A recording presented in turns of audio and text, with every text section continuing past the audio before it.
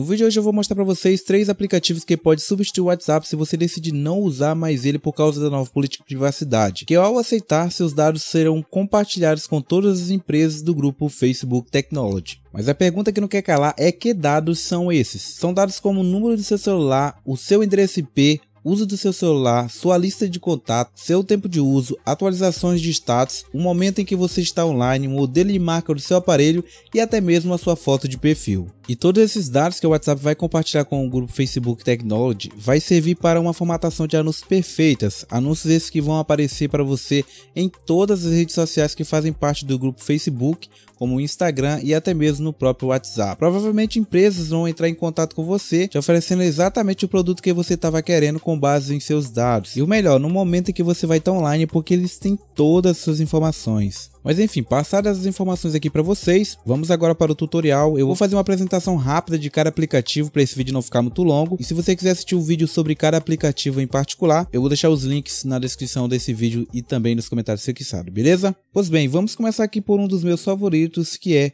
o Telegram. O Telegram é um aplicativo considerado seguro em muitos aspectos, mas o que faz eu gostar muito do Telegram e torna ele uma das minhas primeiras opções para substituir o WhatsApp é a possibilidade de você criar grupos com mais de 200 mil membros, que cá entre nós é muita gente.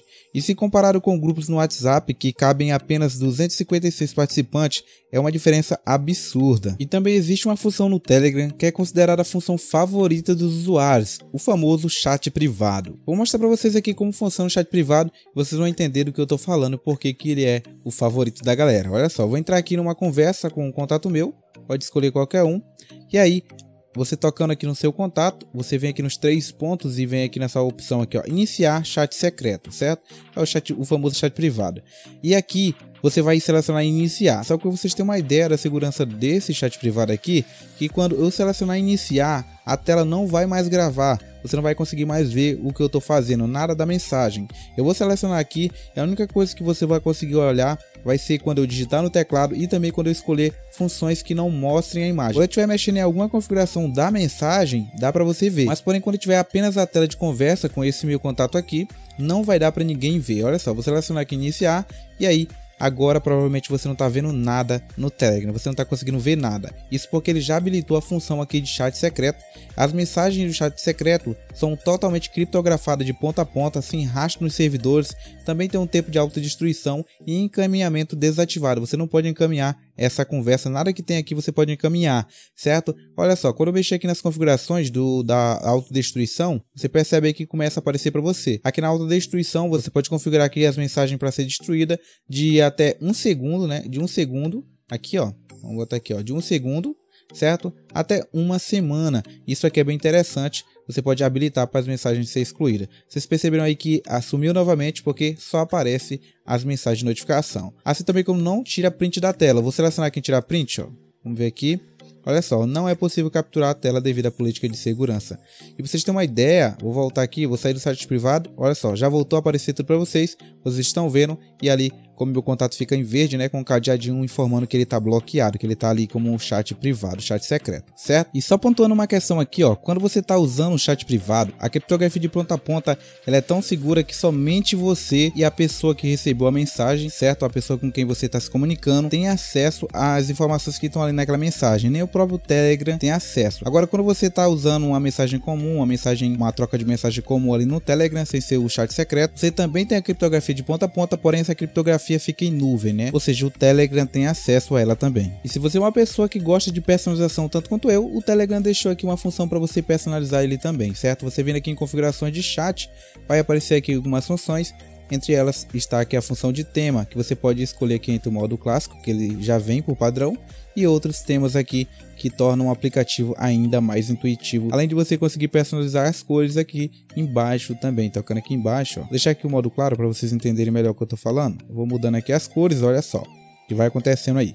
Observem, alterando aqui as cores, certo? E se por acaso não tem aqui a cor que você deseja usar no aplicativo, você tocando duas vezes em cima da cor que você escolheu, ele vai aparecer uma opção para você personalizar a cor aí e mudar para uma cor aí que você desejar, uma cor que seja a sua favorita. Além de mais outras funções que você pode personalizar o chat e tem também o modo noturno, né, que ele não poderia deixar de fora e fica um ícone bem aqui, ó, com facilidade de você ativar e desabilitar. Eu vou tocar nele aqui, ele habilita, vou tocar nele novamente, ele vai desabilitar fica bem fácil de você habilitar, sempre que ficar à noite você habilita facilmente, certo? Esse aqui foi o aplicativo Telegram, o primeiro da nossa lista. Agora vamos para o próximo aplicativo. E o nosso segundo aplicativo é o aplicativo Mensagem da Google.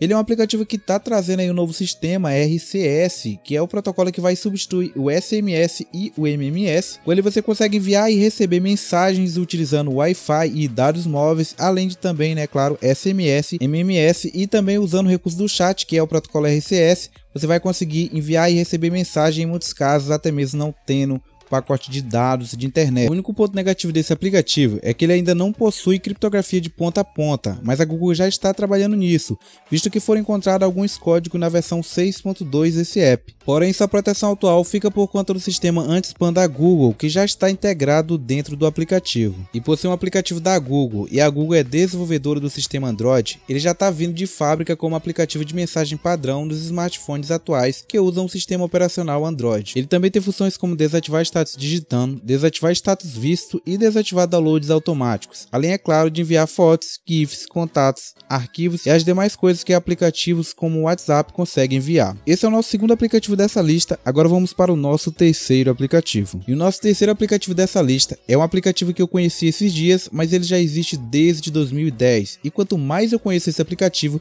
mais eu me sinto confiante para usá-lo. Na real, ele é perfeito para essa situação, visto que você está fugindo do WhatsApp por motivo de privacidade E uma coisa é certa: com esse daqui eu tenho certeza que vocês não vão ter esse problema. Isso porque a criptografia de ponta a ponta desse aplicativo não permite que seus dados sejam compartilhados com terceiros, ou seja, somente você e a pessoa com quem você está conversando vai ter acesso a essas informações, nem mesmo o sistema do Signal tem acesso a essas mensagens. E concluindo, através do Signal você consegue enviar e receber mensagens usando a rede Wi-Fi ou dados móveis, além de mensagens SMS e MMS funções como desabilitar status visto, desabilitar status digitando e desabilitar downloads automáticos, funções essas que praticamente todos os aplicativos que eu citei nessa lista possuem, além do próprio WhatsApp, é claro. Enfim, chegamos ao final dessa lista e agora eu quero saber de vocês. Qual desses três aplicativos você usaria ou vai usar ou já está até usando? Deixe nos comentários que eu com certeza vou querer saber. No demais, meu muito obrigado pelo seu acesso espero ter te ajudado com essa dica. Eu te convido também você a se inscrever no canal se você não está inscrito